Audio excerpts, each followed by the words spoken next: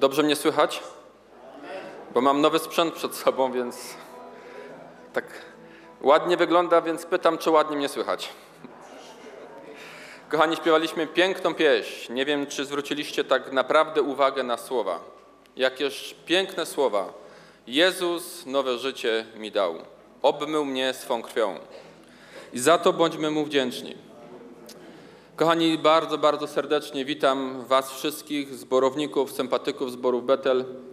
Witam również gości, którzy być może są na tym miejscu. Skądkolwiek jesteście, życzę Wam Bożego błogosławieństwa wspólnie razem z nami.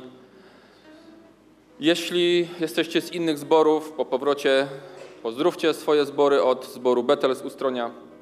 Ale na tym nabożeństwie życzymy Wam tego, żebyście swobodni i rodzinnie z nami się mogli czuć.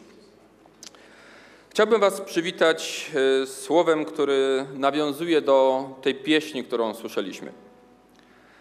Zanim się pomodlimy, zanim dalej będziemy Boga uwielbiać, przeczytam dwa wersety. Cóż na to powiemy, jeśli Bóg za nami, któż przeciwko nam? On, który nawet własnego syna nie oszczędził, ale go za nas wszystkich wydał, jak żeby nie miał z nim darować nam wszystkiego? Któż będzie oskarżał wybranych Bożych? Przecież Bóg usprawiedliwia. Któż będzie potępiał? Jezus Chrystus, który umarł. Więcej, zmartwychwstał, który jest po prawicy Boga, ten przecież wstawia się za nami. Tutaj apostoł Paweł w liście do Rzymian jakby mówi niesamowitą rzecz odnośnie naszej pozycji, kim w Bogu jesteśmy. Ale mówi to w oparciu o taką myśl, która jakby tu służy tylko jako tło, a tak naprawdę jest najważniejsza. Zwróćcie uwagę na, na tą myśl, która jest jakby tłem. On, który nawet własnego syna nie oszczędził, ale go za nas wszystkich wydał. I dalej jest ta główna myśl. Moi drodzy, ale myślę, że ta myśl jest dla nas dzisiaj najważniejsza. Dziś będziemy przystępować do stołu pańskiego. Za chwilkę zaśpiewamy, będziemy chwilę uwielbiać Pana, później będziemy przystępować do stołu. I chciałbym właśnie, żebyśmy koncentrowali się na tym niezwykłym wydarzeniu.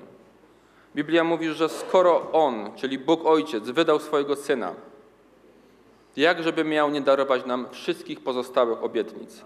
Ale skupiajmy się dzisiaj na tym najważniejszym fakcie, że oto Chrystus za nas umarł. Moi drodzy, myślę, że to jest coś niesamowitego i, i sam wiem, jak to jest, że tak w codziennym życiu, w biegu normalnego życia, czasem nam to powszednieje. Czasem wydaje się nam to oczywiste i tak mało czasem wdzięczności za tą niesamowitą rzecz. A przecież, moi drodzy, pomyślmy przez chwilę, byliśmy niewolnikami grzechu. A kim jesteśmy? Jesteśmy domownikami Boga. Jesteśmy ludźmi wolnymi, jesteśmy dziedzicami Bożego Królestwa spadkobiercami Jego wszystkich obietnic. Myślę, że radujecie się w sercu. Dlatego, bo nie widać tego na zewnątrz, dlatego tak mówię. Wiecie, przypomina mi się kiedyś, ksiądz Józef Tischner powiedział nie, takie bardzo ciekawe słowo, zdanie. Powiedział tak, odkąd Jezus pokonał śmierć, żaden entuzjazm w Kościele nie jest przesadą. Jeszcze raz powtórzę, bo może ktoś dopiero się włączył, żeby słuchać. Odkąd Jezus pokonał śmierć, żaden entuzjazm w Kościele nie jest przesadą. Amen. Kochani, dlatego chciałbym, abyśmy dzisiaj jakby przyjęli takie dwie postawy. Z jednej strony entuzjastyczną, radosną, bo tak naprawdę to jest przypomnienie tej najbardziej radosnej radosnego wydarzenia w historii świata. Najbardziej radosnego, bo to stało się dla nas zbawienie. Więc bądźmy entuzjastyczni, radośni, że przypominamy, uczestniczymy w tej pamiątce. A z drugiej strony podchodźmy do tego wydarzenia z takim szacunkiem, z pokorą, ze świadomością, że dotykamy rzeczy świętych, że Jezus jest pośród nas. Więc zachęcam Was do i takiego szacunku, uniżenia przed Bogiem, ale też i do radości, radości ze zbawienia. Pomódlmy się wspólnie razem, podziękujmy Bogu, a później będziemy uwielbiać naszego Pana. Kochany nasz Panie, Tobie dziękujemy za krzyż Golgoty. Panie, dziękujemy Tobie za to, że przelałeś na nim swoją świętą krew dla naszego ratunku. Panie, dziękujemy Ci, że nam objawiłeś tą prawdę. Panie kochany, że my możemy być Twoimi dziećmi, że kiedyś byliśmy daleko od Ciebie, a teraz jesteśmy Tobie bliscy, że kiedyś byliśmy niewolnikami grzechu, a teraz jesteśmy usprawiedliwieni i możemy Tobie służyć, Panie. Dziękujemy Ci za to, co dla nas uczyniłeś, Panie. Dzisiejszego dnia chcemy koncentrować swoje myśli i swoją uwagę na krzyżu Golgoty. Chcemy koncentrować swoje myśli na tym, co dla nas zrobiłeś, Panie. Dlatego chcemy oddać Ci chwałę i cześć jako Kościół, jako Twoje dzieci. Panie, chcemy podziękować Ci za to. Chcemy wyrazić Ci swoją miłość, swoją wdzięczność, Panie, bo, bo tak wielkie jest Twoje dzieło. Nie potrafimy tego ogarnąć swoim rozumem, nie potrafimy tego do końca zrozumieć. Dlatego chcemy Ci po prostu być wdzięcznymi i dziękować Ci, Panie, za to. A też Cię prosimy o Twoje błogosławieństwo na to nabożeństwo. Błogosławimy, Panie, ten czas. Błogosławimy czas, kiedy będziemy sięgać po ten chleb i ten kielich, Panie. Błogosławimy każdego, który będzie to czynił. Błogosławimy, Panie, cały przebieg tego nabożeństwa. Oddajemy go w Twoje ręce z radością i wdzięcznością, Panie. Niech Twoja łaska, niech Twoje błogosławieństwo jest dziś pośród nas i dotyka naszych serc. W imieniu Jezusa. Amen.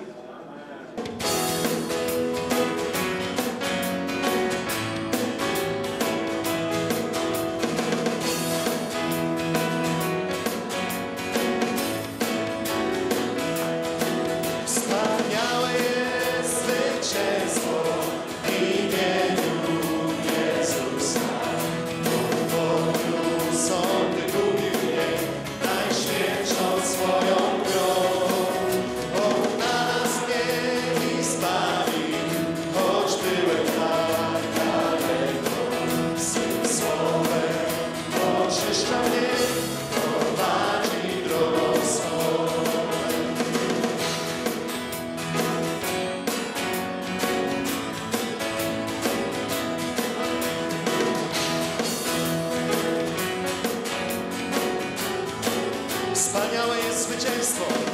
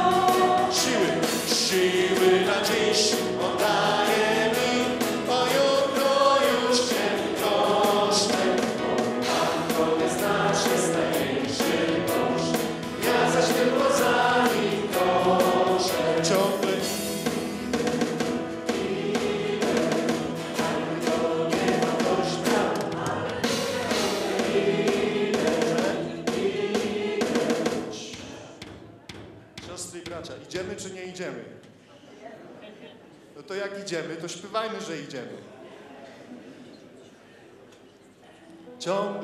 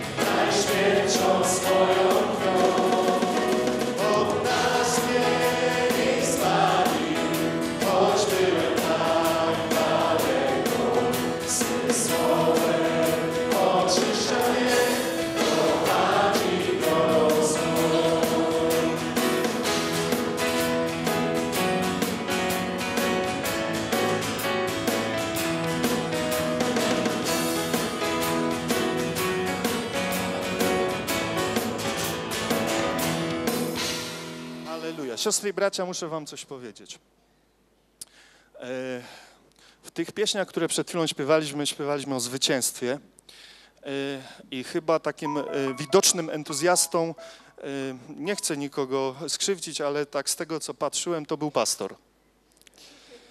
Dlatego, że i klaskał, i ciągle coś tam podrygiwał. Niektórzy mówią, no ale jak my patrzymy na grupę uwielbiającą, ona nie klaszcze, to tak jakoś... A pokażcie, pokażcie nam, że można klaskać. Widzicie? Można klaskać. I można y, troszkę się poruszać, pośpiewać głośno. Można, bracia i siostry. Dla chwały Pana Jezusa, nie dla naszej chwały, a dla, ale dla uwielbienia Jego świętego imienia. I mam nadzieję, że przy kolejnej pieśni już nie będzie takich osób, które nie będą wiedziały, co zrobić z rękami.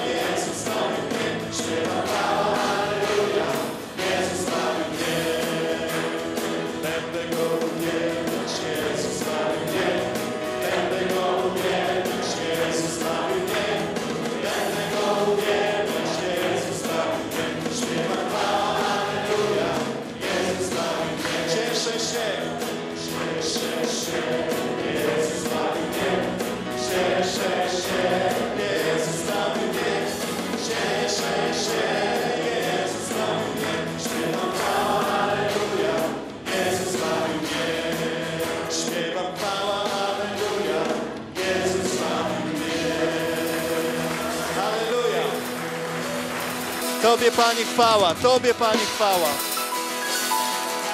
Halleluja, Jezus, halleluja.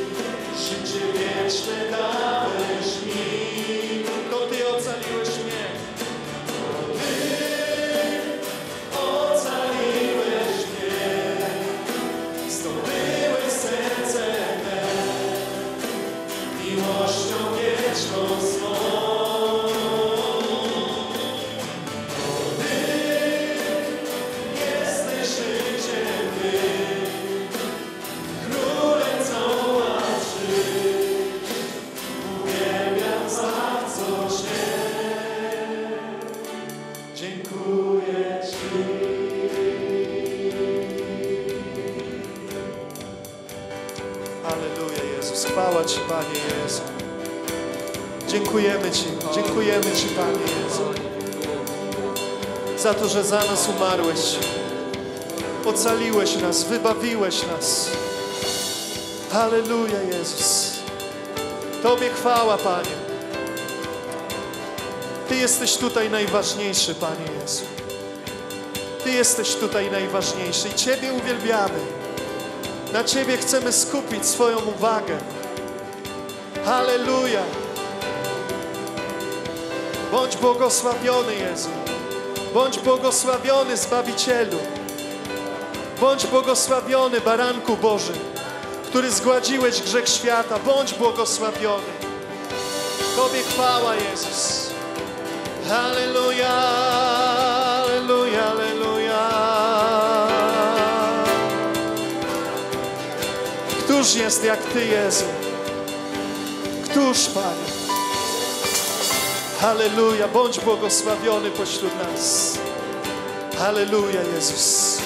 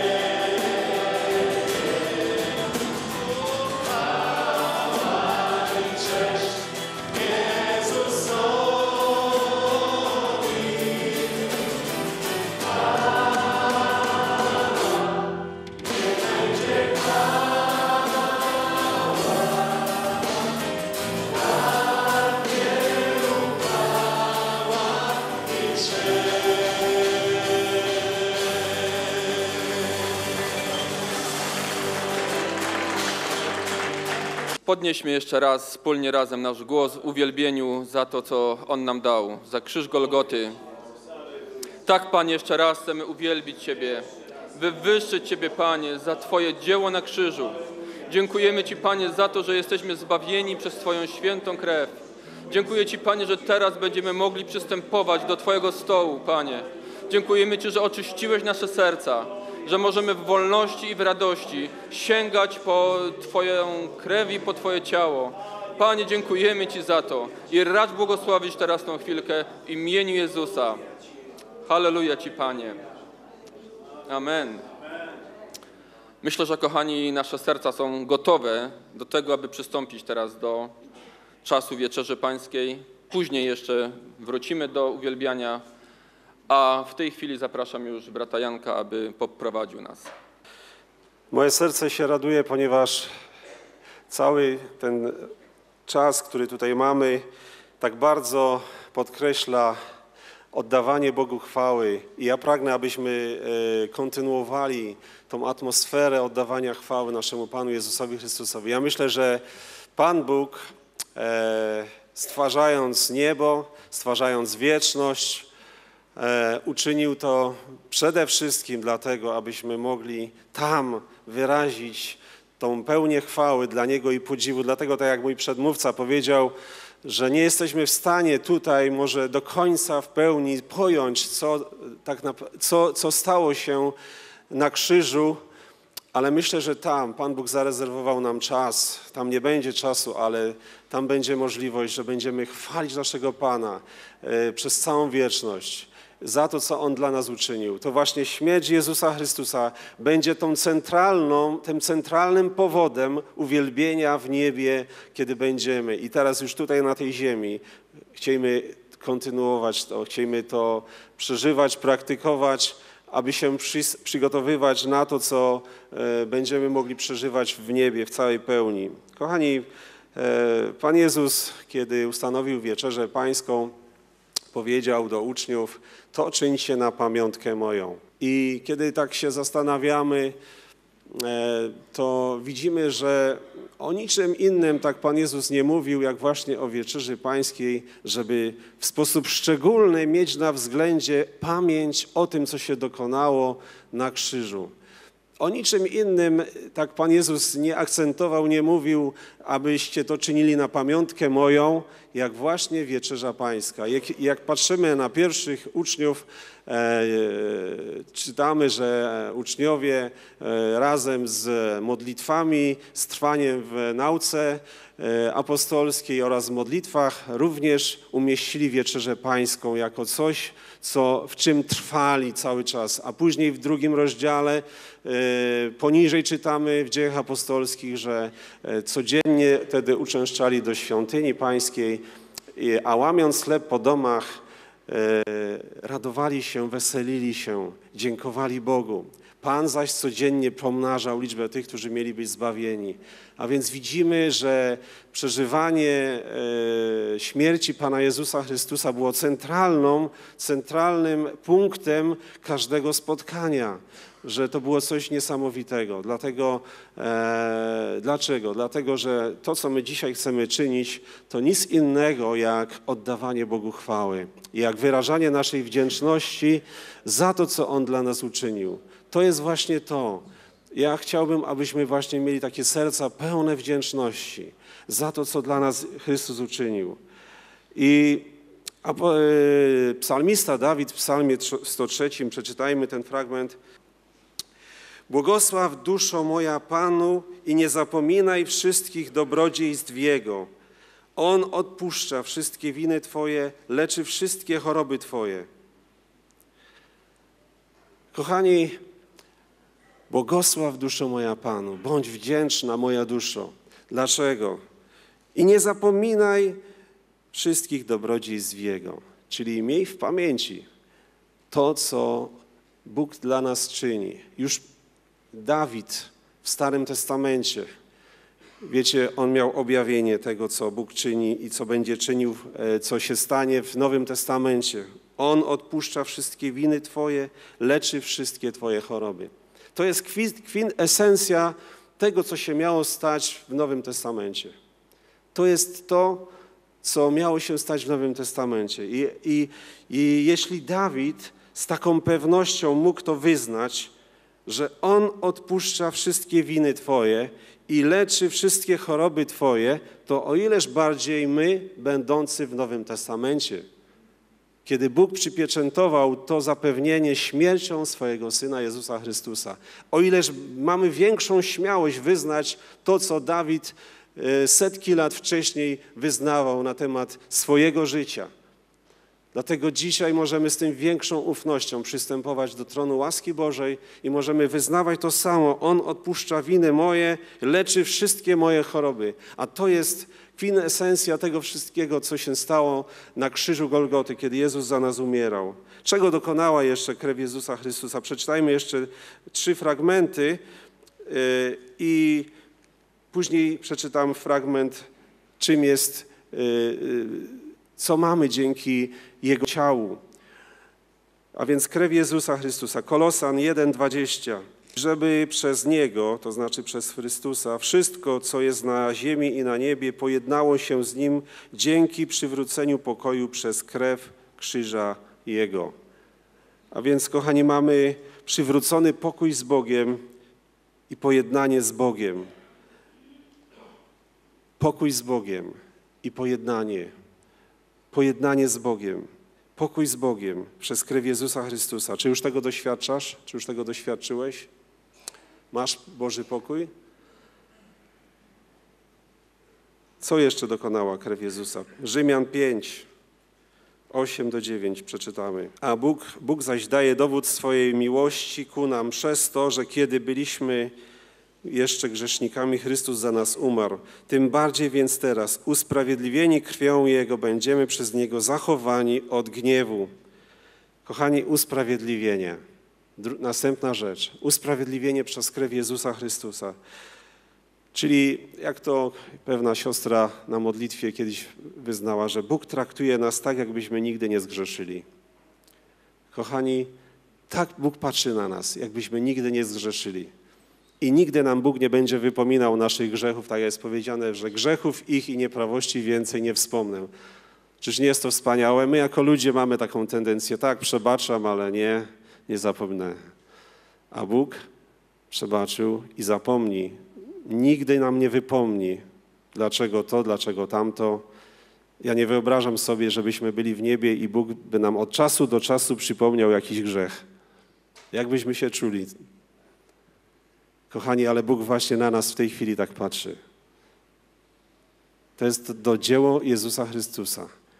Uniewinniony, usprawiedliwiony, jeśli wierzymy. A co jest, jeśli nie wierzymy? W Ewangelii Jana 3,36 jest powiedziane, kto wierzy w Syna ma żywot wieczny, kto zaś nie słucha Syna, nie ujrzy żywota, lecz gniew Boży ciąży nad nim. My czytaliśmy poprzednio, że gniew Boży spadł na Jego Syna, na Jezusa Chrystusa. Ale jeżeli ktoś nie wierzy, powątpiewa i, i ciągle nie wierzy, to pamiętaj, co jest napisane, że gniew Boży ciąży nad Tobą. Straszna to rzecz, mając świadomość, że gniew Boży ciąży nade mną. Pamiętaj, że gniew Boży już ciążył na Jezusie Chrystusie, na Synu Jego. I dlatego chcemy Bogu być za to wdzięczni. I ostatnia rzecz, którą chciałem przeczytać odnośnie krwi, to jest Efezjan, drugi rozdział, 12 i 13. Byliście w tym czasie bez Chrystusa, dalecy od społeczności izra izraelskiej i obcy przymierzom, zawierającym obietnicę, nie mający nadziei i bez Boga na świecie. Ale teraz wy, którzy niegdyś byliście dalecy, staliście się w Chrystusie Jezusie bliscy przez krew Chrystusową. I werset 19. Tak więc już nie jesteście obcymi przychodniami, lecz współobywatelami świętych i domownikami Boga. Halleluja. Kochani, przez krew Jezusa Chrystusa zostaliśmy włączeni do Jego rodziny. Mamy, mamy to samo DNA, tą samą grupę mamy. Jesteśmy rodziną dlatego, że mamy krew, krew, która nas włączyła do Bożej rodziny. Przez krew staliśmy się bliscy, staliśmy się współdomownikami czy domownikami Boga i współobywatelami świętych. A więc jesteśmy rodziną, jesteśmy bliscy sobie. To dokonała krew Jezusa Chrystusa. A co dokonało ciało Jezusa Chrystusa? Czytamy już o tym w Izajasza 53, 4 do 5. Lecz On nasze choroby nosił, nasze cierpienia wziął na siebie, a my mniemaliśmy, że jest zraniony przez Boga, zbity i umęczony. Lecz On zraniony jest za występki nasze, starty za winy nasze, ukarany został dla naszego zbawienia, a Jego ranami jesteśmy uleczeni. Piotr powiada, Jego sińce uleczyły nas. Kochani, Jego ciało zostało zbite, a On, tak jak powiada Boże Słowo, nasze choroby wziął wziął nasze niemoce, jak powiada ewangelista Mateusz, wziął nasze choroby i nasze niemoce na swoje ciało. A więc, kochani, krew Jego nas usprawiedliwiła, usprawiedliwiła, zbawiła naszą duszę, a ciało Jego dotyka naszych ciał, tu fizycznych ciał. Jego sińce wzięły nasze choroby. Możemy się dotykać przez wiarę tych sińców i odbierać od Niego tak jak w sensie duchowym odbieramy usprawiedliwienie, odbieramy zbawienie, tak samo i możemy się dotykać Jego sińców i ran, ponieważ one są dla naszego zdrowia. Kochani, chcielibyśmy być wdzięczni Bogu za, za to, co On dla nas przygotował. Tak jak powiedziałem, że, że wieczność, e, wieczności, tak jak e, ewangelista Jan, apostoł Jan na wyspie Patmos miał objawienie Pana Jezusa, zobaczył Jezusa tego, który był, jakby miał przebite, jakby zabitego baranka. I ten motyw śmierci Pana Jezusa tam będzie w sposób szczególny widoczny, dlatego że jest powiedziane jakby zabitego baranka. Jezus Chrystus y, będzie punktem centralnym, kulminacyjnym w uwielbianiu za to, co On dla nas uczynił. Chciejmy może już powstać. Ja bym poprosił braci, którzy będą dzisiaj usługiwać przy Wieczerzy Pańskiej, aby podeszli tutaj.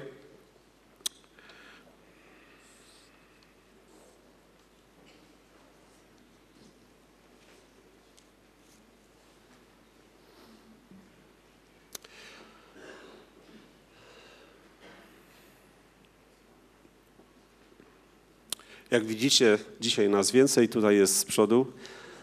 Chcemy Wam usłużyć sprawniej, szybciej, ale nie to jest najważniejsze. Najważniejsze jest to, że możemy teraz być wdzięczni Bogu za to, co wszystko dla nas uczynił. Ale chciałbym, abyśmy, tak jak stoimy, abyście bracia wyciągnęli ręce i pobłogosławili nas tutaj, braci stojących z przodu, abyśmy mogli Wam usłużyć z miłością i zdajemy sobie sprawę, że że potrzebujemy Jego, Jego łaski na ten czas. Dlatego wyciągnijcie swoje ręce i podziękujcie i poproście o błogosławieństwo dla nas jako braci.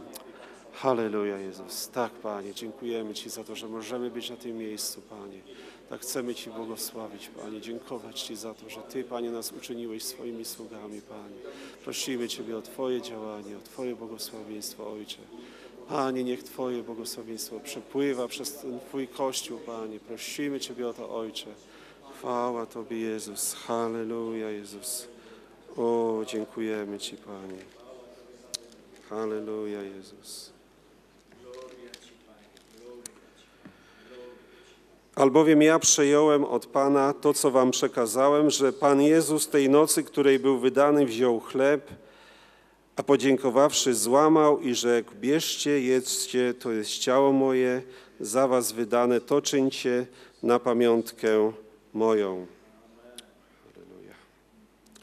Panie Jezu, dziękujemy Ci za ten chleb, który możemy dzisiaj spożywać, który nam przypomina to, co Ty dokonałeś na krzyżu, Panie. Dziękujemy Ci za Twoje ciało, za to, żeś Ty nosił nasze grzechy i choroby, Panie. Dziękujemy Ci za to, że Dzięki temu możemy być zbawieni, że możemy być uzdrowieni i modlimy się, aby ten chleb był dzisiaj błogosławieństwem dla tych wszystkich, którzy będą spożywać. Prosimy, błogosław ten chleb, Panie, aby przynosił on, Panie, wzmocnienie, posilenie i abyśmy mogli wiarą wzmacniać nasze życie i dotykać się Ciebie, Panie, w duchowy sposób, łączyć się z Tobą, Panie. Dziękujemy Ci za to, że jesteś Jesteś pośród nas, tak błogosław ten chleb. Amen. Halleluja.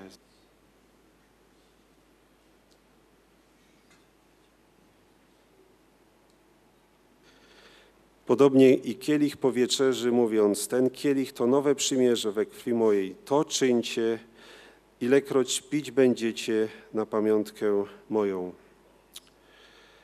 Panie Jezu, dziękujemy Ci również za Twoją świętą krew przelaną za nas, Panie. Dziękujemy Ci za to, że możemy się dzisiaj radować, Panie, że nasze grzechy oddaliłeś jak wschód od zachodu słońca, Panie. Dziękujemy Ci za to, że Twoja krew nas usprawiedliwiła, że pojednała nas z Ojcem naszym w niebie, że Twoja krew otworzyła nam drogę do tronu łaski. Dziękujemy Ci za Twoją świętą krew, która nas zbliżyła do siebie, uczyniła nas jedną rodziną, Panie.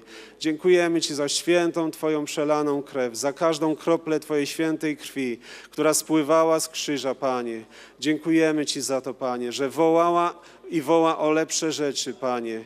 Dziękujemy Ci, Panie. Jesteśmy Ci bardzo wdzięczni za Twoją świętą krew przelaną dla naszego zbawienia, że nie ma innego źródła oczyszczenia, jak tylko Twoja święta krew. Dziękujemy Ci za Twoją świętą krew. Błogosław i to spożywanie teraz, Panie, tego kielicha, Panie. Niech Tobie płynie chwała, cześć i uwielbienie.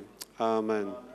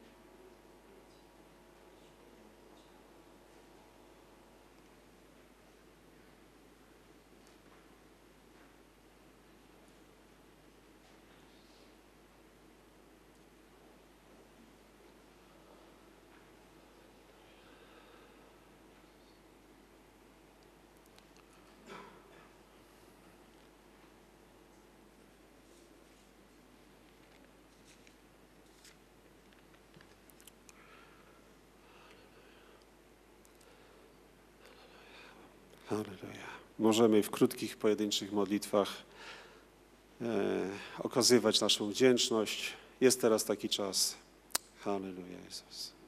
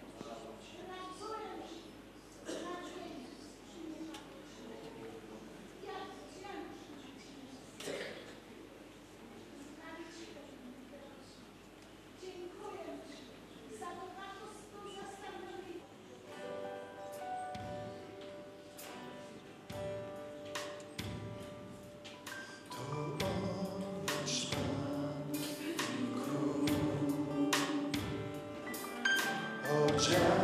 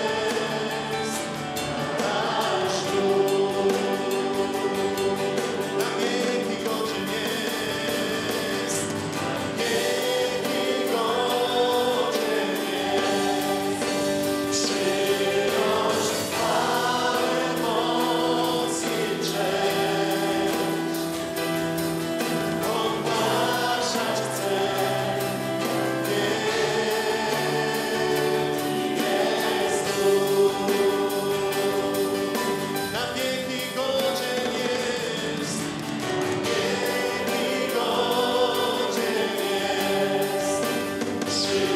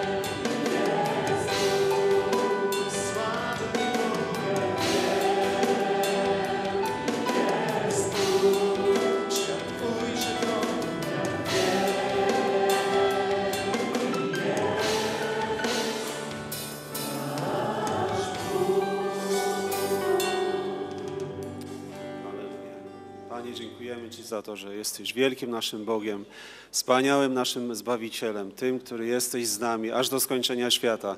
Panie, oczekujemy na Twoje przyjście powtórne, Panie. Błogosław nas, Panie, w tym oczekiwaniu, bo Tyś powiedział, to czyńcie, aż przyjdę, Panie. Dziękujemy Ci za to, że przyjdziesz, Panie, i że będziemy mogli razem z Tobą, Panie, zasiąść do stołu tam w górnej ojczyźnie. Błogosławimy Ciebie i wywyższamy. Amen. Aleluja. Oddychać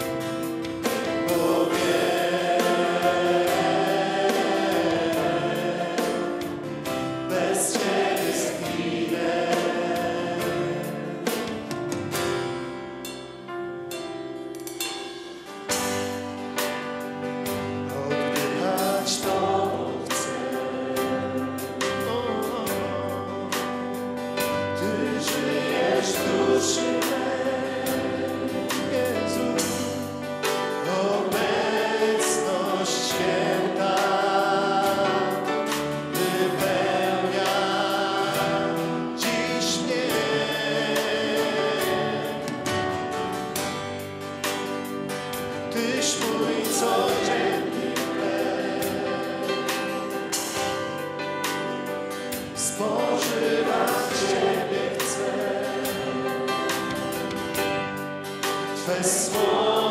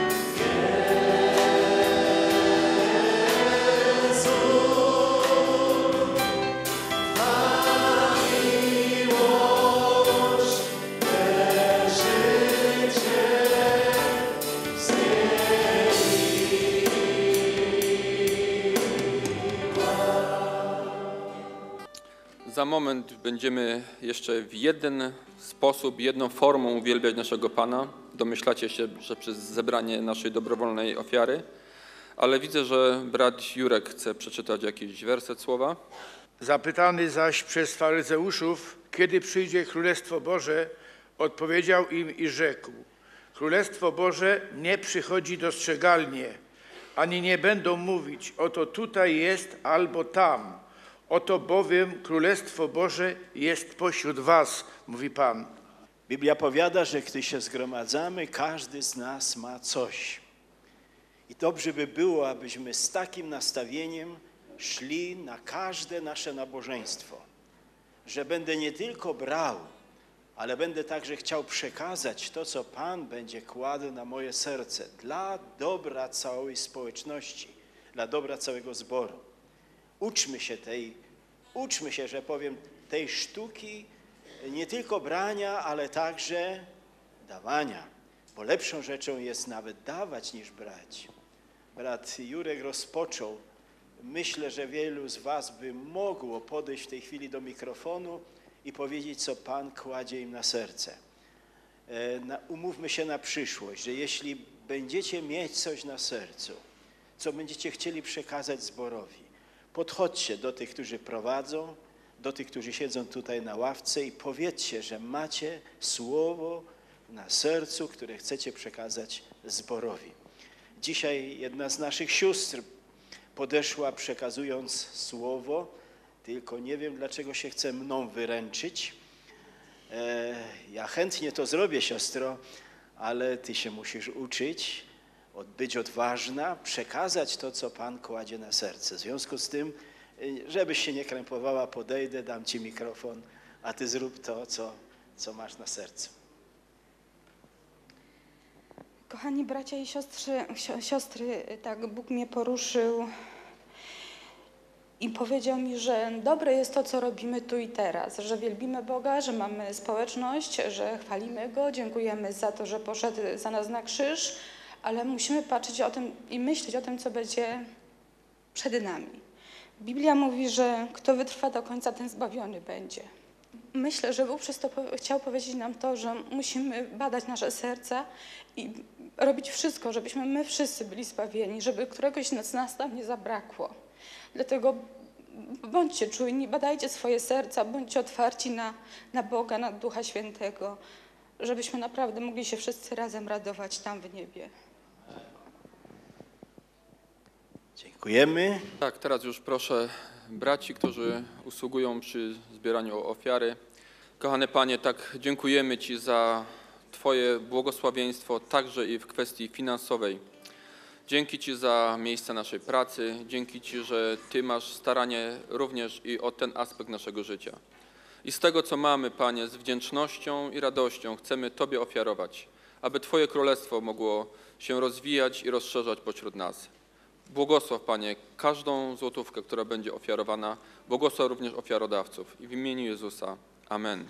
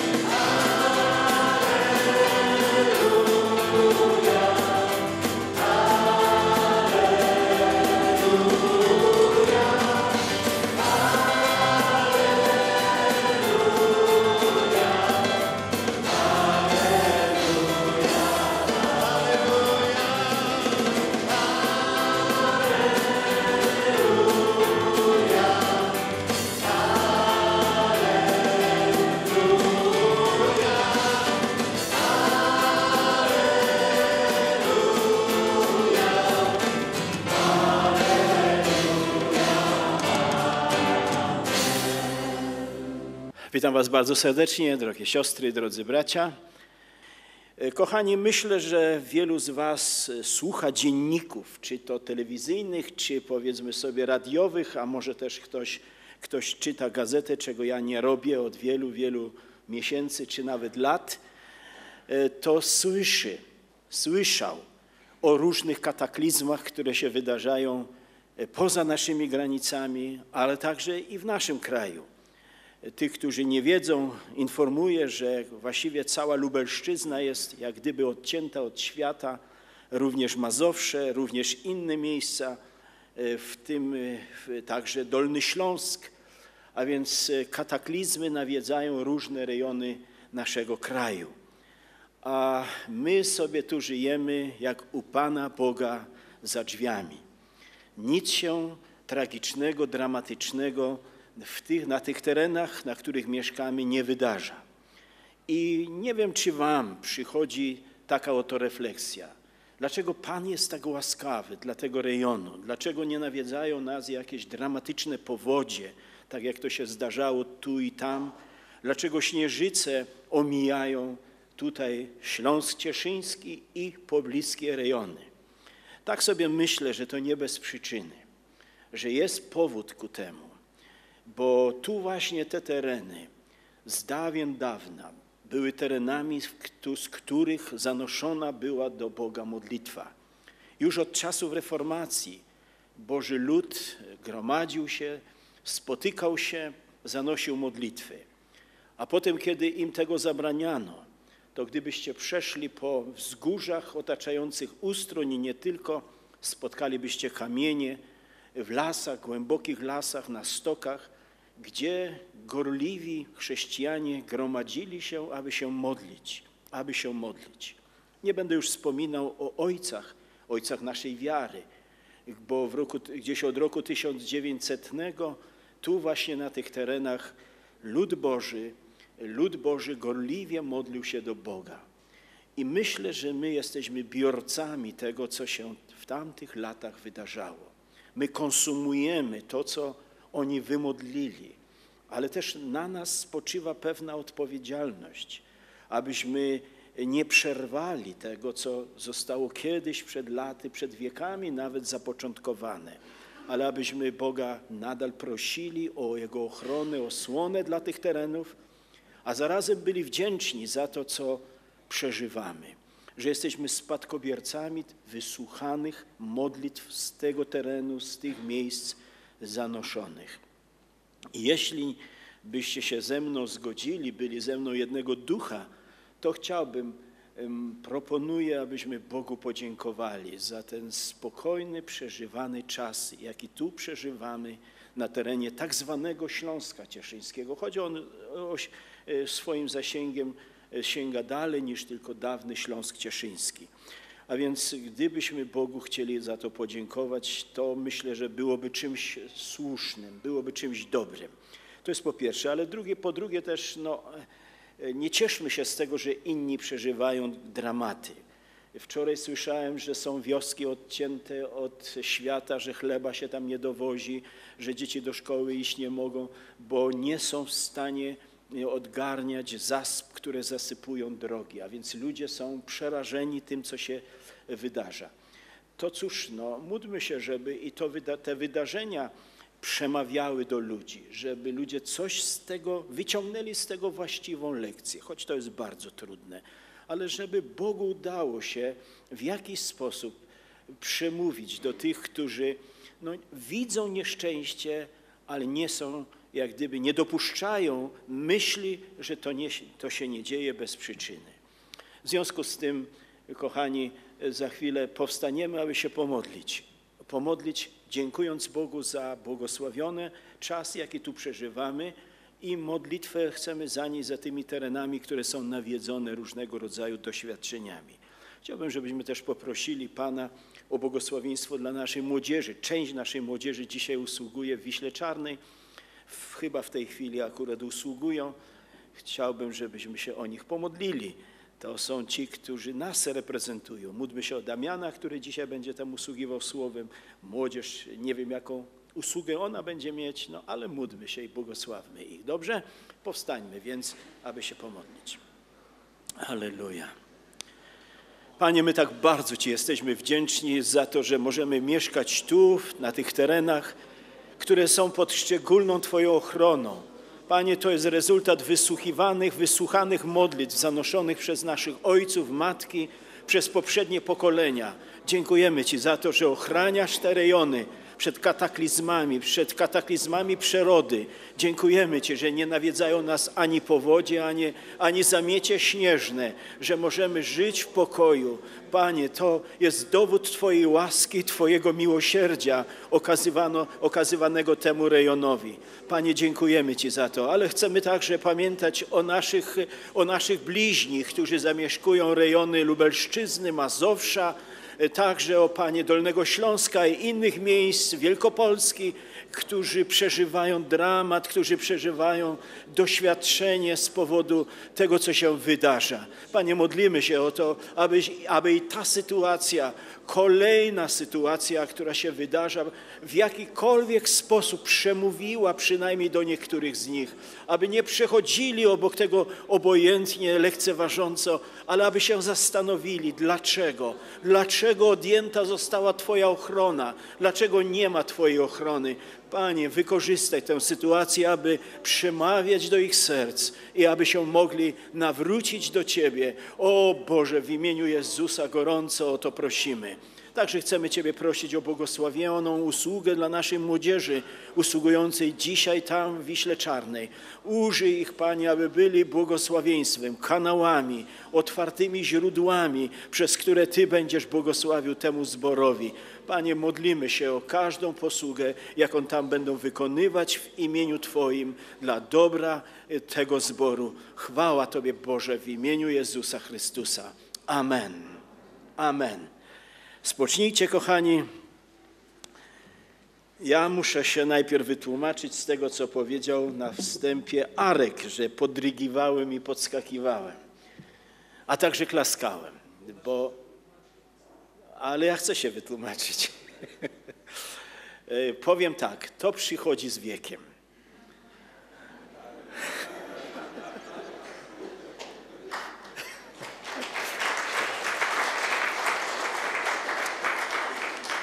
No i nie ja pierwszy to odkryłem. Myślę, że pierwszym, który to odkrył, jest psalmista Dawid. Gdy był młodym człowiekiem, napisał w jednym z swoich psalmów: Będę uwielbiał Pana. No bo za co? Gdy patrzył w swoje krótkie życie, nie miał jeszcze aż tylu powodów, żeby uwielbiać Pana. Coś tam się nazbierało i w związku z tym stwierdził tylko raz: Będę uwielbiał Pana.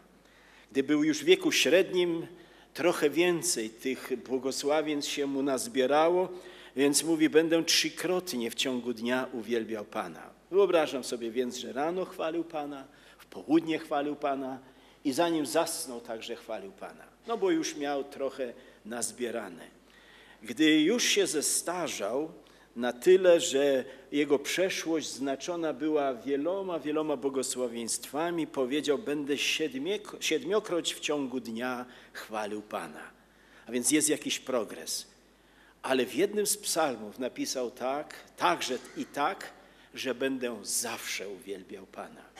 A więc jeszcze więcej doświadczył błogosławieństw, dlatego rozumiał, że powinien bezustannie chwalić Pana. A więc e, myślę, że nie będzie przesady, jeśli się zwrócę do młodych, chwalcie Pana. Myślę, że nie będzie przesady, jeśli się zwrócę do wieku średniego, trzykroć w ciągu dnia chwalcie Pana. I że nie będzie przesady, jeśli się zwrócę do tych, którzy no już, już, już, już, nie chcę powiedzieć, że się starzeją, ale już są bardziej doświadczeni, że w ciągu dnia siedmiokroć będą chwalić Pana. No i do ludzi w moim wieku, jeśli się zwrócę z apelem, bezustannie chwalmy Pana. Jest, są powody, aby chwalić Pana. Kochani, ja wiem, że kiedy rozmawiam z kimkolwiek albo z wieloma ludźmi na temat oddawania chwały Bogu, to bardzo często daje mi się słyszeć, bracie, ja chwalę Pana w swoim sercu. Ja gram i śpiewam Panu w swoim sercu. Tak, tak, jest tak napisane w liście do Filipian. Ale nie róbmy z tego zakonu. E, Tak, tam bezustannie w naszej duszy powinna grać e, melodia na chwałę Panu.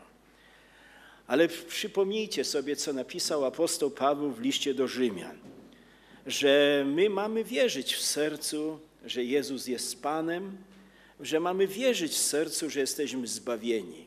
Ale czy to już jest wszystko? Czy to już jest koniec? Czy na tym się kończy? Nie, Paweł dopisuje, kto uwierzy w sercu swoim, a ustami wyzna, że Jezus jest Panem, zbawiony będzie. A więc chodzi nie tylko o to, co czujemy w sercu, ale chodzi też o to, abyśmy to wyznawali naszymi ustami, abyśmy czuli wdzięczność w naszych sercach. Jeśli nie mamy wdzięczności w naszych sercach, to jest pustomowie. To nie róbmy, bo to jest wtedy klepanie tylko niepotrzebne, niepotrzebne klepanie ustami. Ale jeśli serca nasze są pełne wdzięczności, a takimi powinny być, to nie możemy tego zatrzymywać na poziomie serca. Powinniśmy także wylewać to poprzez nasze usta, oddawać Bogu chwałę, czcić Boga, chwalić Boga. A więc to przychodzi z wiekiem. Jeśli jeszcze to nie przyszło do waszego życia, wierzę, że w swoim czasie przyjdzie, że będziecie mieli tę wewnętrzną motywację, wewnętrzną potrzebę, aby chwalić Pana, aby Go uwielbiać.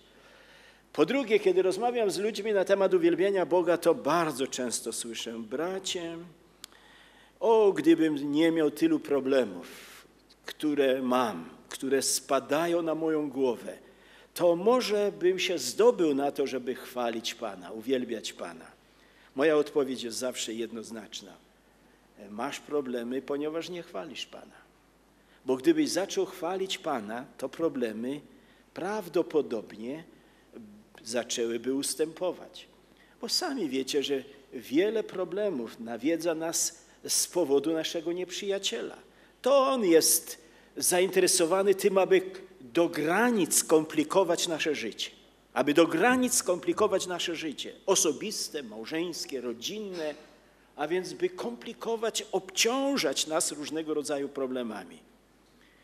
Jest taki list, ja nie pamiętam, jak się, jest taki, taka broszurka, ja nie pamiętam dokładnie, jak ona się nazywa, ale chyba Wyznanie Starego Diabła. Być może ktoś z Was to czytał. I tam jest napisane, że diabeł, a więc ten stary diabeł, rozsyłał swoich sług po świecie, aby trapili chrześcijan. Aby trapili chrześcijan. I tam jest w jednym miejscu napisane, że wrócił taki jeden demonik, młody, młody demon, i zdaje raport. I pyta go stary szatan, no i coś ty tam zrobił? A mówi, chciałem skomplikować życie tego człowieka, obciążyłem go różnymi problemami, a wyobraź sobie, mistrzu, że on w tych problemach zaczął chwalić Pana. Zorientowałem się, że zamiast go obciążać, to, to go pobudziłem do tego, żeby chwalił Boga. Uciekałem więc stamtąd jak najszybciej. Bo rozumiałem, zrozumiałem, że im bardziej go będę obciążał, tym większa chwała dostanie się Bogu. Hmm. Jest w tym coś prawdy, czy nie? Jest w tym coś prawdy. W związku z tym myślę, że najlepszą radą dla tych, którzy czują się czymkolwiek obciążeni, w jakikolwiek sposób obciążeni, w tej sytuacji zacznijcie chwalić Pana. Zacznijcie chwalić Pana a zobaczycie, że będziecie, zaczniecie się podnosić jak orły ku górze. Tak, zacznijcie to robić, zacznijcie to robić. No przypomnę wam Jehoszafata, otoczony zewsząd nieprzyjacielskimi wojskami, zaczął chwalić Pana i skończył się problem. Przypomnę wam Sylasa i Pawła, zamknięci w więzieniu Filipi, zaczęli chwalić Pana i skończył się problem. I muszę powiedzieć, że w, na, na przestrzeni mojego życia nauczyłem się właśnie wtedy, kiedy jestem w piecu, jak Sedrach, Mesach i Abednego, zacząć chwalić Pana, a ogień gaśnie. Nauczyłem się, że wtedy, kiedy jestem pośród ryczących lwów, jak Daniel, zacząć chwalić Pana. Dlaczego? Bo Pan mieszka w chwale swojego ludu. Jeśli my Go uwielbiamy, to w jakimś sensie Jego chwała stępuje tam na to miejsce, skąd się ta chwała wydostaje, no a przed chwałą Pana nic się ostać nie jest w stanie. A więc droga duszo, drogi przyjacielu, drogi bracie, droga siostro, w tym Twoim utrapieniu, jakie być może przeżywasz, zacznij chwalić Pana. Ja wiem, że to jest trudne, no bo jak chwalić Pana, skoro jestem obciążony takimi i takimi sytuacjami? No właśnie, zacznij chwalić Pana podnieś głowę ku górze, górze i zacznij wielbić Pana. Im bardziej będziesz patrzył na swoje problemy, zorientujesz się, że one będą narastać. będą coraz większe, będą coraz, olbrzym, coraz bardziej olbrzymieć. Ale jeśli zaczniesz chwalić Pana, to zaczną maleć, szczezną, znikną. Bo, bo tam, gdzie jest oddawana chwała Panu, tam też Pan przebywa. A więc mam nadzieję, że się Wam wytłumaczyłem. To przychodzi z wiekiem. To przychodzi z wiekiem. Jeśli jeszcze nie potrafisz podrygiwać, nie potrafisz chwalić Pana, no ja się nie martwię, to przyjdzie z wiekiem. Dobrze. A teraz już chciałbym przejść do czytania Bożego Słowa. E, Kochani, przed chwilą byliśmy świadkami uczestniczenia, uczestni- uczestniczyliśmy, nie byliśmy nie tylko świadkami, ale uczestniczyliśmy w wieczerzy pańskiej. I muszę Wam powiedzieć, że kiedy wczoraj myślałem o wieczerzy pańskiej, to natychmiast moje myśli skierowały się w stronę Jerozolimy, Jerozolimy, w stronę wieczernika, gdzie Pan Jezus Chrystus na koniec swojego życia, zgromadziwszy swoich dwunastu, razem z nimi obchodził wieczerzę pańską. I muszę Wam powiedzieć, że się głęboko zastanowiłem nad wypowiedzia, wypowiedziami, które Pan Jezus wypowiedział podczas e, spożywania wieczerzy pańskiej. Wtedy, gdy siedzieli, a właściwie leżeli na odpowiednich sofach, bo taki był wtedy zwyczaj, przy wieczerzy pańskiej. I wiele tematów Pan Jezus poruszył e, w tym niezwykle ważnym momencie, jaką była wieczerza pańska. Ale zastanowiłem się nad jedną myślą. I myślę, że to jest bardzo ważna myśl, którą Jezus zawarł w Ewangelii Jana w 14 rozdziale, wierszu pierwszym. Niechaj się nie trwoży serce wasze. Zastanowiłem się nad tym. Niechaj się nie lęka, inne tłumaczenie mówi serce wasze. Niechaj się nie trwoże serce wasze, niechaj się nie lęka, bo wierzycie w Boga i we mnie wierzycie. A teraz przejdźmy od razu do wiersza trzeciego.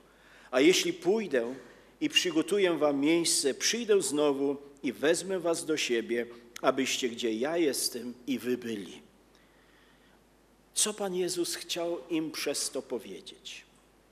W moim przekonaniu chciał im przekazać bardzo ważną prawdę, że zanim On powróci, bo tu jest mowa o Jego powrocie, bo tu jest mowa o Jego powtórnym przyjściu, ale zanim to nastąpi, zanim nastąpi powtórne przyjście Pana Jezusa, to, to na ziemi, na ziemi szerzyć się będzie coś, co byśmy mogli nazwać plagą lęku, strachu i trwogi.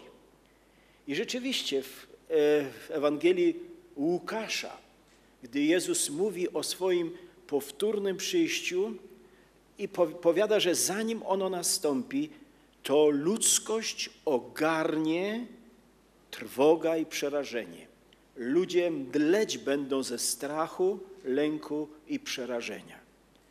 A więc Jezus sygnalizuje nam tu, że przed Jego powtórnym przyjściem będzie mieć miejsce plaga lęku, trwogi i strachu.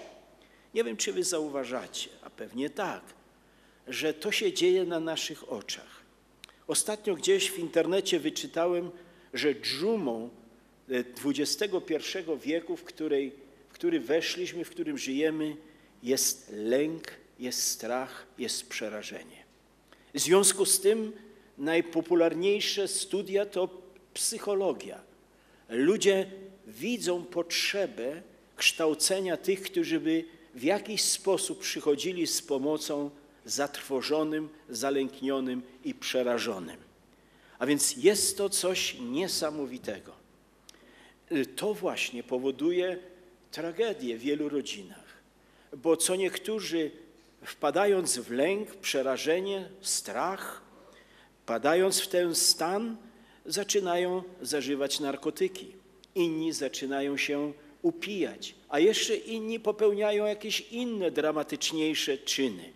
A więc lęk, strach, przerażenie, y, cecha charakterystyczna p- czasów przed powtórnym przyjściem Pana Jezusa Chrystusa powoduje wiele tragedii, wiele nieszczęścia. Jest wszech jak gdyby ogarniająca. I kochani, to nie ma znaczenia, od, nie, ma to żadnego nie ma to znaczenia, w jakiej cywilizacji ludzie żyją. W najwyżej rozwiniętych cywilizacjach chyba najwięcej jest tej, tej przypadłości, jaką jest lęk, jaką jest, jakim jest strach, jakim jest przerażenie. I w związku z tym chciałbym dzisiaj powiedzieć przede wszystkim o tym, y, jakie skutki powoduje lęk, strach. Y, Powiedzieć także o tym, powiedzieć także o tym, dlaczego lęk jest niebezpieczny. No to wynika jedno z drugiego. Ale nade wszystko chciałbym zaakcentować, jak przezwyciężyć strach, jak przezwyciężyć lęk. Bo okazuje się, drogie siostry i drodzy bracia, że lęk jako taki jest straszliwym narzędziem szatana, którym się posługuje w czasie ostatecznym. On chce w ten sposób sparaliżować ludzi. On chce w ten sposób unieszczęśliwić ludzi. A pamiętacie, ostatnia moja usługa poświęcona była temu, żeby, że biada ziemi i biada morzu, bo stąpił do was diabeł, pałając wielką złością.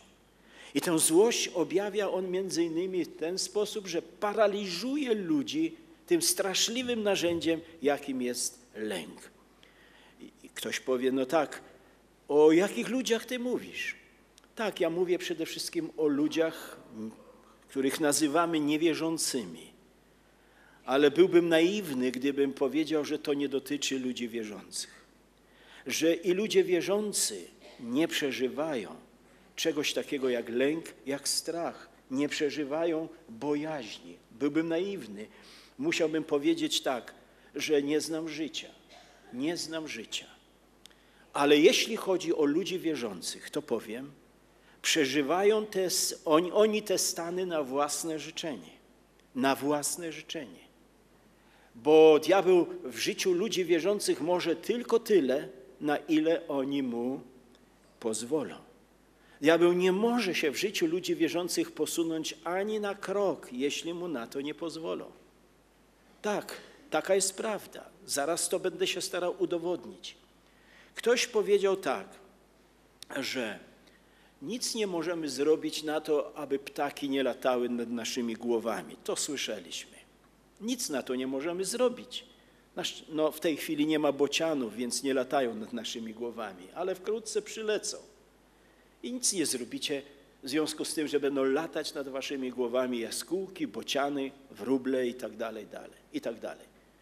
Ale nierozsądne byłoby, żebyśmy pozwolili bocianom, wróblom wić sobie gniazda na naszych głowach, prawda? Tego, byśmy, tego na pewno byśmy, na to byśmy się nie zgodzili. Nic nie możemy zrobić, żeby diabeł nie krążył wokół nas z tą ognistą strzałą, jaką jest strach i lęk. Ale nie musimy się zgodzić na to, żeby sobie uwił gniazdo w naszym sercu. Nie musimy się zgodzić na to, żeby by mu pozwolić, by to, e, ten, to ziarno lęku i strachu pojawiło się w naszych sercach. Nie nic nie możemy zrobić przeciwko temu, a więc nie możemy zrobić niczego, żeby postronni ludzie nie dzwonili do naszych domów. Czasem nawet jesteśmy źli, bo wtedy, kiedy akurat chcemy odpocząć, to dwie osoby stają przed bramką i już chcą rozmawiać o królestwie. A więc wiecie, kogo mam na myśli, choć ich nie wymieniłem. A więc nic nie możemy zrobić na, w związku z tym, że różni ludzie dzwonią do naszych drzwi, do naszych domów. Ale czy musimy się zgodzić na to, żeby wszystkich puszczać do naszego domu? Czy każdego włóczęgę i tak dalej, i tak dalej, który dzwoni do naszego domu, musimy puszczać do, na, do naszych drzwi? Nie, nie musimy. To jest zależne od nas. I nic nie możemy zrobić, żeby diabeł nie pukał do drzwi naszych serc, przynosząc w podarunku lęk, strach, obawę, ale bracia i siostry, nie musimy się zgodzić na to, żeby go puszczać. Nie musimy. A więc powtarzam raz jeszcze, powtarzam raz jeszcze. Diabeł atakuje tym straszliwym narzędziem zarówno wierzących, jak i niewierzących. E, Przypomnę Wam, że najwięksi mężowie Boży, najwięksi mężowie Boży w pewnym okresie swojego życia przeżywali coś takiego jak atak poprzez lęk, poprzez strach. Nie mam czasu, żeby to rozwinąć, ale przypominacie sobie, jak to Mojżesz wysłał dwunastu wywiadowców do Kanaanu. I to nie byli jacyś przeciętni ludzie, to nie byli, jak pisze Paweł, zwykli wierzący. To byli naczelnicy rodów. To byli ludzie, którzy przewodzili narodowi. Ale gdy wreszcie wrócili po 40 dniach z, po 40 dniach z Kanaanu, dziesięciu z nich, powiem, było zainfekowanych strachem, lękiem. Ich umysł był zarażony lękiem, strachem. Bo co powiedzieli Jozuemu? Przepraszam, Mojżeszowi. Co powiedzieli Mojżeszowi? Widzieliśmy tam olbrzymów, a myśmy, w- myśmy w stosunku, a my w porównaniu z nimi wyglądali jak szarańcza. A więc przeraż, byli przerażeni. Jest o tym mowa w czwartej księdze Mojżeszowej, jeśli chcecie sprawdzić, 13 rozdział, 33 wiersz. A myśmy się czuli jak, jak mrówki, a myśmy się czuli jak szarańcza.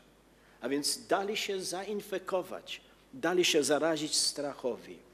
Inny przykład. Potężna armia pod wodzą Saula wyciąga, wyciągała, by walczyć z Filistynami. I kochani, wystarczyło, że wyszedł Goliat, a wszyscy uciekali w popłochu. Dlaczego? Bo dali się opanować strachowi, bo pozwolili na to, aby strach zawładnął ich umysłami, ich sercami. No i wreszcie mamy potężnego proroka Eliasza. Kiedy Izabela zagroziła mu, że go uśmierci, to uciekał biedaczyna. Uciekał na pustynię. A gdy go Bóg spotyka, pyta, co ty tu robisz? Odpowiada, zląkłem się, bałem się i dlatego uciekam. A więc nie, zdarzało się, że nawet najbardziej wierzący ludzie, a takim niewątpliwie był Eliasz, a takimi niewątpliwie było, byli ci, którzy poszli na przeszpiegi ziemi obiecanej, dali się obezwładnić e, demonowi strachu. Demonowi strachu. E, ludzie cierpią z różnych powodów. Iluż jest takich, którzy drżą, lękają się no, popularnej dziś choroby, jaką jest nowotwór. Czy nigdy się nie baliście, że was to może nawiedzić? Czy nigdy nie dotarło do waszego umysłu, o, ten zachorował na raka, i ten zachorował na raka, i ten jest umierający na raka, i ten, a co ze mną? A co ze mną? Czy nigdy takie myśli, takie pytania was nie nawiedzają? Jeśli was nie, to czujcie się szczęśliwymi, bo mnie nawiedzają. Od czasu do czasu, gdy mnie coś tu albo tu zaboli, a może to jest? I odpowiedź już znacie.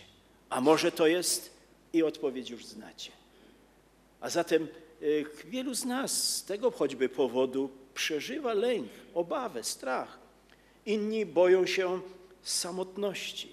No, Dzieci podrosły, jedno wyjechało do Szkocji, drugie wyjechało do Anglii, a trzecie gdzieś tam na drugi kraniec e, Polski, a mnie lat przybywa. I co teraz? I co teraz z tym domem, który e, zbudowałem? Kto tu będzie mieszkał? Kto się będzie mną opiekował na starość? Kto? Kto się zatroszczy o to, aby mi niczego nie brakowało? Sędziwi, seniorzy, nigdy was takie myśli nie nawiedzają? A jeśli im pozwalamy, to diabeł e, wchodzi przez te otwarte drzwi i jak mówimy, kuje żelazo póki gorące. Tak, myślę, że nie jestem osamotniony, jeśli sobie takie pytanie zadaję, że na tej sali znaleźliby się i inni, którzy by potwierdzili tak. Im więcej mi lat przybywa, tym częściej o tym myślę, tym częściej o tym myślę. I myślę, że to nawet nie jest, że to jest nierozsądne nie myśleć. To trzeba być lekkomyślnym, żeby pewnych rzeczy nie planować, pewnych rzeczy nie przygotować, pewnych rzeczy nie przewidzieć. Ale temu nie może towarzyszyć lęk, strach, nie może towarzyszyć paraliż. Jeszcze, jeszcze inni przeżywają e, lęk przed, no, przed, już powiedziałem, chorobą, przeżywają lęk przed starością. Tak, tak. e, Gdy się ma lat 16, a ktoś się pyta, ile masz lat? Ile masz lat? 18. Ale kiedy się ma lat 50 i ktoś się pyta, ile masz lat? 40. To dowodzi, że gdzieś w człowieku tkwi obawa przed sędziwością, przed starością. A muszę wam powiedzieć, że starość może być piękna, no ale też to zależy od naszej postawy, od naszej postawy. Niekoniecznie u wszystkich starość jako jesień jest czymś pięknym, choć jesień obfituje w najlepsze owoce. Wiosna nam nigdy takich owoców nie zabezpieczy jak jesień. Ale ludzie się boją sędziwości. Ludzie się boją sędziwości. Dlaczego? No bo są świadomi, że ich sędziwość któregoś dnia zakończy się śmiercią. A jest gdzieś w człowieku, y, no, czy tego chce, czy tego nie chce, taka obawa. Nawet u wierzących się to spotyka. Y, No jak ta śmierć będzie wyglądać? Jak to przejście z doczesności do wieczności? I kiedy nad tym myślimy, mogą się pojawić nuty lęku, obawy. Jak to będzie wyglądać? Dzięki Bogu, że nie u wszystkich, ale też nie mogę powiedzieć, że u nikogo, bo osobiście znam ludzi, którzy przeżyli całe życie, a potem, kiedy trzeba się było rozstać z doczesnością, no mieli pewne obawy. I to jest chyba wytłumaczalne, nawet zrozumiałe. Nigdy takich ludzi nie, potępia, nie potępiałbym, ani też powiedzmy sobie nie krytykowałbym ich, bo też się zastanawiam, jak to będzie y, ze mną. No, w związku z tym mają rację ci, którzy mówią, że do godnej śmierci trzeba się przygotować. Że trzeba się przygotować do godnej śmierci, bo to nie jest łatwe. To nie jest łatwe, żeby y, nasza, nasze odejście z tego świata było także świadectwem. Idąc dalej, dlaczego lęk jest absolutnie nie do tolerowania? Dlaczego nie możemy się zgodzić na lęk, który nam podsuwa albo przez otwarte drzwi usiłuje wepchnąć nieprzyjaciel? Dlaczego? Podam tylko dla skrócenia czasu trzy powody. Po pierwsze, dlatego, ponieważ lęk otwiera drzwi temu, czego się boimy. Dokładnie zaczyna się dziać albo wydarzy się w którymś momencie to, czego się boimy. I mamy na to, na to mamy dowody w Biblii. Gdybyście czytali Księgę Hioba, trzeci rozdział, 25 wiersz, to byście się dowiedzieli, y, to byście usłyszeli wyznanie tego poczciwego, tego poczciwego, bogobojnego człowieka, którym się Bóg chełpił, którego Bóg przedstawiał jako przykład aniołom, a także samemu diabłu. Ale Hiob sam o sobie powiedział, kiedy znalazł się już na dnie swojego nieszczęścia, dokładnie stało się tak to, czego się bałem. Tak, wydarzyło się dokładnie to, czego się bałem. A więc choć obfitował, choć był zdrowy, dopuszczał gdzieś jednak taką myśl, że oto jednego dnia może zachorować i zachorował.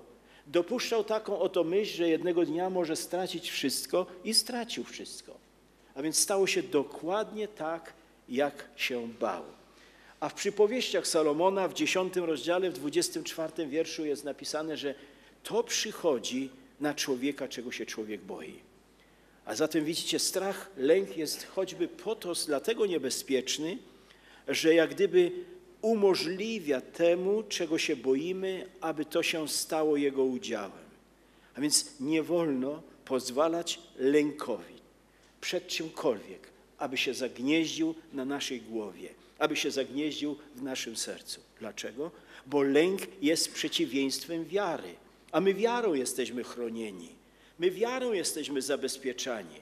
A zatem jeśli się boimy, to, to jak gdybyśmy wiarę odsuwali gdzieś na bok, a dopuszczali lęk do naszego serca. Umożliwiali lękowi, posłańcowi szatana, aby czynił spustoszenie w naszym życiu. A więc lęk otwiera drzwi przed tym, czego się boimy. Po drugie, lęk paraliżuje naszą aktywność dla Pana. Tak, naszą aktywność dla Pana. Przypomnę Wam, bo we wtorki o tym mówiłem, że Pan odjeżdżając rozdzielał talenty i jednemu ze sług dał jeden talent, a innym dał ich oczywiście więcej. A po jakimś czasie wrócił. A po jakimś czasie wrócił, a gdy wrócił, rozliczał swoich sług. I co się okazuje? Okazuje się, że ten jeden sługa, który wziął jeden, dostał jeden talent, wziął ten talent i zakopał.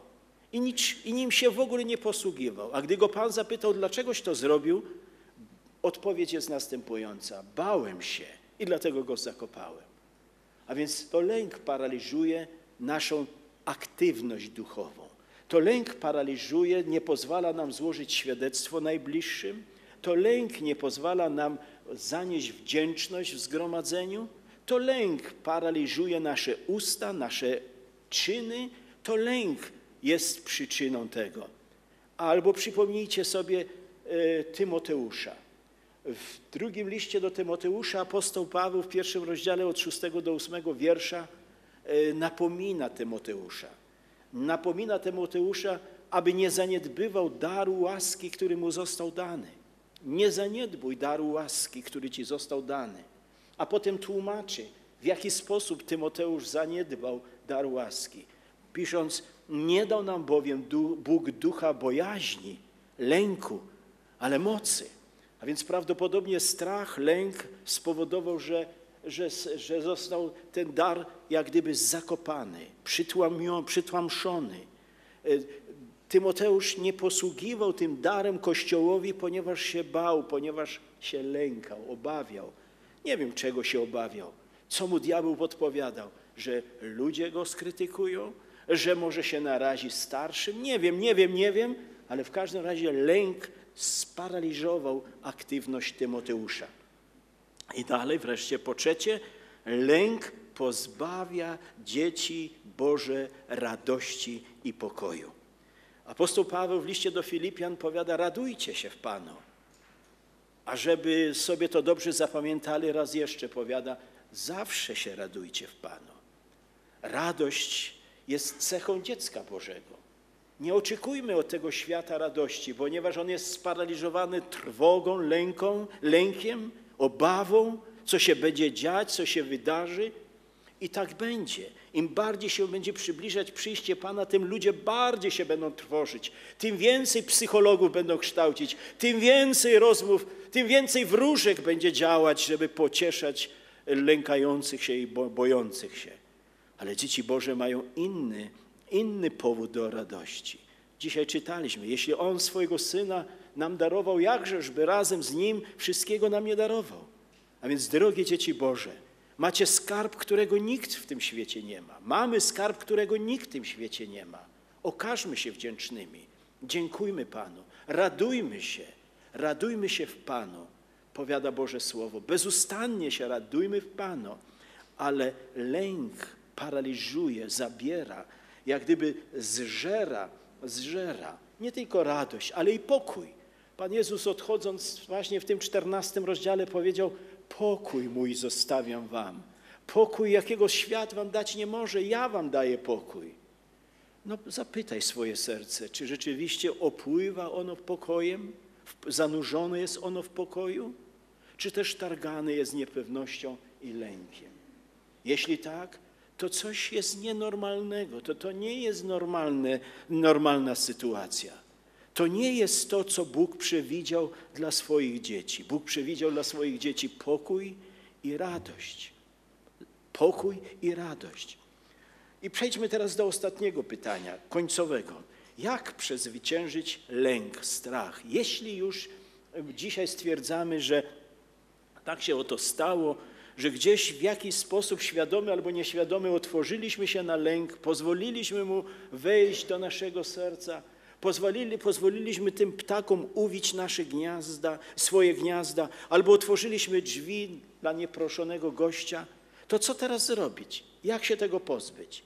Podam Wam trzy moje propozycje. Po pierwsze, zastanów się, trzeba się zastanowić, bo czasem lęk jest owocem zatajonego grzechu. Zatajonego grzechu. I tak jak powiedziałem, grzeszni ludzie będą omdlewać ze strachu i lęku przed powtórnym przyjściem Pana Jezusa. Jest to zapisane w Ewangelii Łukasza w 21 rozdziale.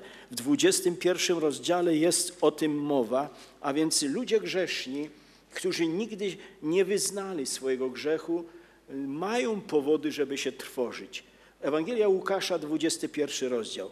I będą znaki na słońcu, księżycu i na gwiazdach, na ziemi, a na ziemi lęk bezradnych narodów, gdy zahuczy morze i fale. Ludzie omdlewać będą z trwogi w oczekiwaniu tych rzeczy, które przyjdą na świat, bo moce niebios poruszą się. A więc grzesznicy mają powód, żeby się bać. Grzesznicy mają powód, żeby się lękać. Cudzołożnicy, wszetecznicy, homoseksualiści i inni zboczeńcy mają powód, żeby się bać. Mają czy nie mają? Mają powód, żeby się bać. Jeśli tego nie wiedzą, to im to powiedzcie. I nie dziwmy się, że się lękają, że się trwożą, że się boją. Bo bardzo często przyczyną lęku jest niewyznany, nieodpokutowany grzech. Nawet powiada Jakub, że nie tylko ludzie drżeć będą z trwogi. Powiada Jakub, że, e, że nawet demony drżą ze strachu. Tak, one wiedzą, że spotka ich straszliwa konsekwencja za to, że tak wielu ludziom uprzykrzyli życie. One są świadome tego, że za to, co czyniły, poniosą dramatyczne konsekwencje. Dlatego już dzisiaj, w przeciwieństwie do wielu ludzi, drżą ze strachu. O tym jest napisane w liście Jakuba w drugim rozdziale, w dziewiętnastym wierszu. A więc czasem grzech, zatajony grzech, pali jak ogień. Zatajony grzech powoduje, że następuje paraliż strachem i lękiem. Co więc należy w tej sytuacji zrobić? Co więc należy w tej sytuacji zrobić? Y, no, nie możesz powiedzieć tak, w grzechu poczęła mnie matka moja, moi rodzice takimi byli i ja już widocznie takim być muszę. Nie. Powiada Boże Słowo w ustami Izajasza proroka, choćby grzechy wasze były jak szkarłat, jak śnieg zbieleją. Choćby były czerwone jak karmazen, jak wełna zbieleją. Kiedy? Kiedy święta krew Bożego Syna przelana na Golgocie oczyści Twoje serce, oczyści nasze serce. Ale ażeby to mogło nastąpić, musimy sobie uświadomić, że nie możemy tego grzechu tłamsić w sobie, ukrywać, ale że go należy wyznać, wyznać, przeprosić Boga, jak to mówimy, odpokutować, a wtedy dostępujemy przebaczenia. A wtedy dostępujemy przebaczenia. My wszyscy takimi byliśmy. Ale dzięki temu, że Bóg się nad nami zmiłował, przebaczył nam grzechy, dzisiaj możemy powiedzieć o tym, że jesteśmy dziećmi Bożymi, oczyszczonymi świętą krwią Jezusa Chrystusa. A więc wyznaj to. Po drugie, uwierz, jeśli już jesteś dzieckiem Bożym, uwierz, że jesteś takim, jak mówi Bóg. Nie słuchaj kłamcy. A więc uwierz, że jesteś dokładnie takim, jak o tobie mówi Bóg. A co mówi Bóg? A Bóg powiada do nas, kochane dzieci moje, wy nie wzięliście ducha bojaźni, a więc nie otrzymaliśmy ducha bojaźni. I w związku z tym bojaźń, lęk nie ma prawa gościć w naszym sercu, mieszkać w naszym sercu. Już czytany list do Tymoteusza, powiada apostoł Paweł, nie dał nam Bóg ducha bojaźni. A Jan idzie jeszcze dalej i mówi, większy jest ten, który jest wasz, niż ten, który jest na świecie. A więc uwierz w to wreszcie, uwierzmy w to wreszcie, bo to, nam, to nas wyzwoli z mocy lęku. Bo jeśli uwierzymy w to, to nigdy lęk nie będzie, nie będzie miał dostępu do naszych serc. Jeśli natomiast nie będziemy w to wierzyć, no to wtedy wróg, widząc naszą niewiarę, może nam podsyłać tę właśnie, tę, tę właśnie zarazę, jaką jest lęk, która ogarnia ten świat. E, kochani, nie możemy nie wierzyć Bożemu Słowu. Więc albo wierzymy Bożemu Słowu, ponieważ jesteśmy wierzącymi, albo nie wierzymy. Jeśli nie wierzymy, to jesteśmy niewierzącymi. My nie dzielimy ludzi tak jak w niektórych kościołach wierzący, ale nie praktykujący. albo wierzący i praktykujący, a najgorsza kategoria to niewierzący, ale praktykujący. My do takich przecież nie należymy. My wierzymy w to, co mówi Słowo Boże, które jest fundamentem naszej wiary. A więc uwierz wreszcie w to, jeśli dopuszczasz lęk do swojego serca, jeśli tarmosi on Twoją duszę, duszą, uwierz, kim jesteś, że większy jest ten, który jest w Tobie, niż ten, który jest na zewnątrz. Że Bóg nie dał nam ducha bojaźni. Bóg nie jest zainteresowany naszym lękiem, naszą bojaźnią. I wreszcie po trzecie, odważnie i śmiało wypędź tego nieproszonego gościa z Twojego życia. A inaczej mówiąc, śmiało daj odpór diabłu. Apostoł Paweł pisząc list do Efezjan napisał, nie dawajcie przystępu diabłu. Tak napisał, a więc nie dawaj mu przystępu, bo jeśli dasz mu przystęp, to gwarantuję ci, będziesz powalony przez lęk i strach. A po, trze, po drugie apostoł, Paweł, apostoł Jakub mówi i Piotr mówią, dajcie odpór diabłu. Jeśli nawet dałeś mu dostęp i przyszedłeś na to zgromadzenie z, jakąś, z jakimś lękiem, obawą o przyszłość, o to, że stracisz pracę, przed chorobą albo jeszcze przed czymś, daj mu odpór. Bo nic się w życiu naszym bez woli Bożej wydarzyć nie może. A więc daj odpór wrogowi, daj odpór diabłu.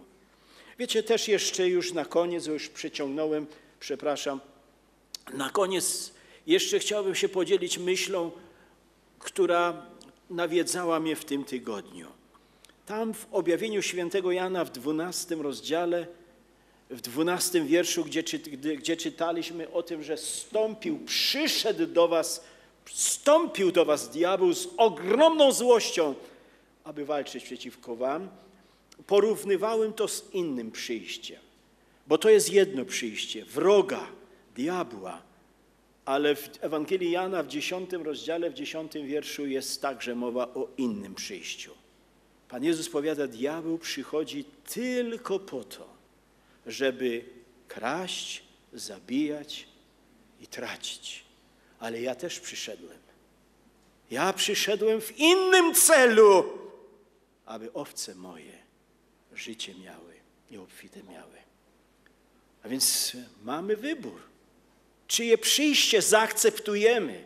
Wroga czy przyjście Pana Jezusa? Szczęśliwy człowiek, który zaakceptował przyjście Pana Jezusa i stał się Jego owcą, należy do Niego. A zatem, drogie siostry i drodzy bracia, bądźmy na to przygotowani, że im dłużej będziemy żyć, tym bardziej, tym będziemy e, świadkami większego paraliżu tego świata przez lęk, strach. Ale jakżeż jednocześnie wdzięczni bądźmy Bogu za to, że, że Bóg gwarantuje nam swój pokój, swoją radość i poczucie bezpieczeństwa. I tego z całego serca Wam życzę, aby tydzień, który jest przed nami, każdy dzień tego tygodnia był dniem obfitej radości, obfitego pokoju i poczucia bezpieczeństwa. Halleluja! Niech Pan będzie uwielbiony. Amen. Na zakończenie chciałbym przeczytać Wam jeszcze jedną z rad Jezusa, które mówi, abyśmy się nie bali. Dlatego powiadam Wam, nie troszczcie się o życie swoje, co będziecie jedli, albo co będziecie pili, albo o ciała swoje, czym się przyodziewać będziecie. Czyż życie nie jest czymś, więcej niż pokarm, a ciało niż odzienie? Nie troszczcie się więc i nie mówcie, co będziemy jeść, albo co będziemy pić, albo czym się będziemy przyodziewać, bo tego wszystkiego poganie szukają. Albowiem Ojciec Wasz Niebieski wie, że tego potrzebujecie. I z innego miejsca słowo brzmiące w ten sposób. Nie troszcie się o nic, ale we wszystkim w modlitwie i błaganiach z dziękczynieniem powierzcie prośby Wasze Bogu. I zwróćcie uwagę, jaki jest efekt. A pokój Boży, który przewyższa wszelki rozum, strzęc będzie z serc Waszych i myśli Waszych w Chrystusie Jezusie. Serc naszych i myśli naszych. Wiecie, te myśli to mi się kojarzą właśnie z tymi wronami, którym nie możemy pozwolić zbudować gniazda na naszej głowie. I może jeszcze ostatnie miejsce z psalmu. Błogosławiony mąż, który boi się Pana i rozmiłował się w Jego przykazaniach, bo nigdy się nie zachwieje. I teraz uwaga. Nie boi się złej wieści.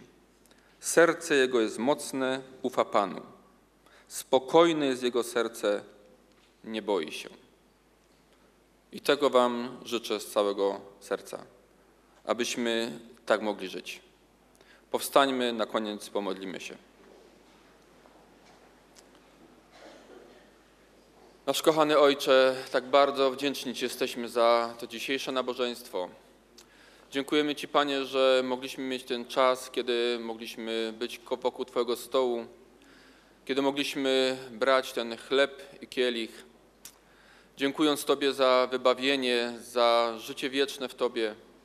Ale dziękujemy Ci, Panie, za Twoje słowo, które kierowałeś do nas, że Ty przeznaczyłeś nas do życia w pokoju, że nie musimy żyć życiem strachu. Panie kochany, daj, abyśmy mogli zrozumieć i przyjąć to słowo, abyśmy umieli dać należyty odpór nieprzyjaciel, nieprzyjacielowi, abyśmy umieli żyć Twoim pokojem, pokojem, który jest dla nas, który jest dla nas darem, który jest dla nas przeznaczony. Panie, nie daj, aby to słowo miało gdzieś zostać zabrane zaraz przy wyjściu, aby szatan spowodował, że zapomnimy o tym, ale daj, Panie, by ono przynosiło owoc w codziennym naszym życiu. Panie, błogosławimy każdego z nas na nasze rozstanie. W imieniu Jezusa. Amen.